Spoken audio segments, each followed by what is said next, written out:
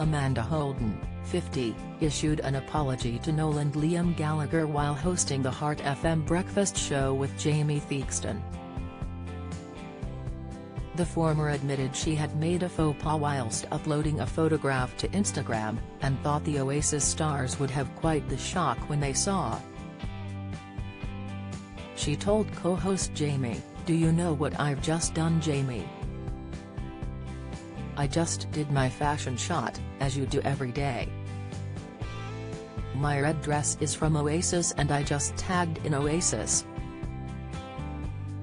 Nolan what's his face? Jamie then jumped in saying, Liam, as the pair burst into fits of laughter.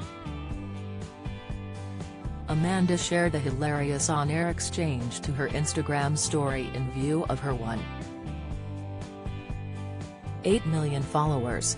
She captioned the post whoops. And said, apologies to, Oasis, when they are waking up to a picture of me in a red dress this morning. It is not the first blunder Amanda has made live on air this week. Yesterday, she and Jamie were discussing which direction they face when showering. The question had been discussed during I'm a Celebrity. Get me out here. Castle Coin Challenge on Wednesday night. The campmates had to answer, what percentage of Brits said that they face towards the shower when washing? Order to win treats for the camp.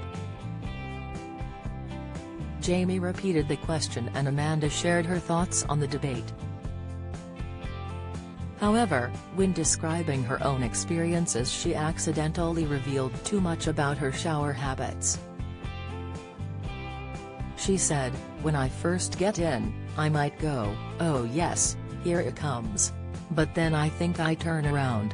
Jamie then interjected, oh, so you're facing towards the shower to begin with.